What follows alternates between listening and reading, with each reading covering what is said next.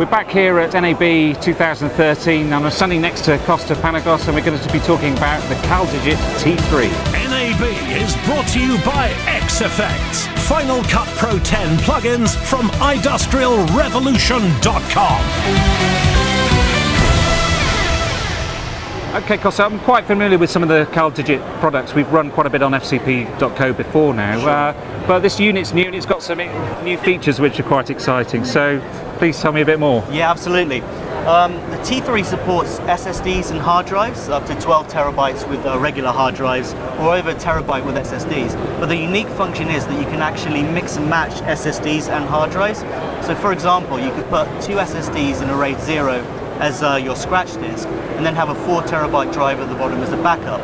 Or you could do the alternative, which is um, have one SSD as a scratch disk and then have two four terabyte drives in a RAID 1 to mirror your data in case uh, you were ever to lose uh, the hard drive. So there's new products that have come out. Obviously, Apple have got their Fusion drive. Yeah. Can we do a similar type of thing to speed up performance with this?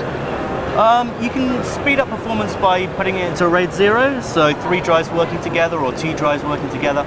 With three drives uh, in a RAID 0 with SSDs, you can get over 800 megabytes a second.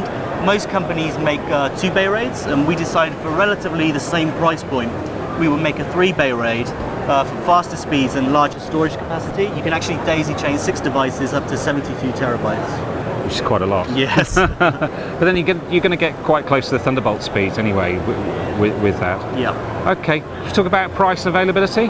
Uh, the price will start at $699 uh, for six terabytes, up to $1,100 uh, for the 12 terabyte version. Fantastic. I also must say, we've got Premiere running here, but actually on one of the other stands, we are they are actually running Final Cut we Pro. We got Final Cut Final on Cut all Pro the others, 10. yes. so we just happen to have be there in front of Premiere to see this new unit. But we, we are they are running Final Cut Pro 10 over there. So just as we finished, Costa said there's one more thing, and he pointed to this expansion dock.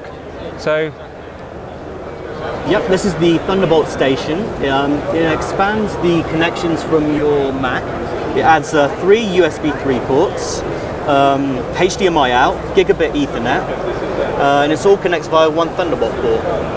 And it's got dual Thunderbolt ports so you can continue daisy chaining your uh, workflow.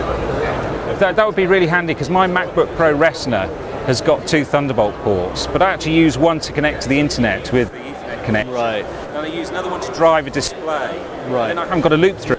Right. So by using this, I could actually connect the, to the internet via the Ethernet port yes. and then use these to, to, to, do it. Yeah. I mean, Thunderbolt's great, but if you're not careful, you have end of chain devices yeah. and they just run out. So Absolutely. And I mean, as laptops are getting smaller and smaller, you're losing more ports. And as a creative professional, you need as many ports as you can possibly get.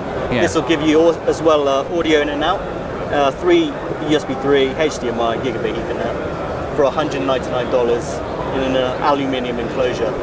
And when's that going to be available? That'll be out in about three months, about June time. Okay, at $199? Yes. Okay. I might be buying one.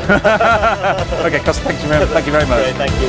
NAB is brought to you by X Effects, Final Cut Pro 10 plugins from industrialrevolution.com.